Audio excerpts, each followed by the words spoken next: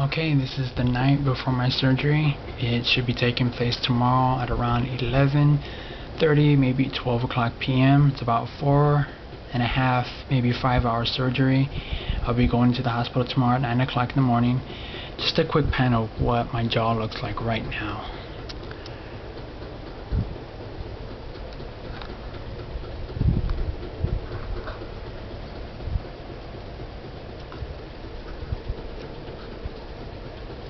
So all that's going to change tomorrow.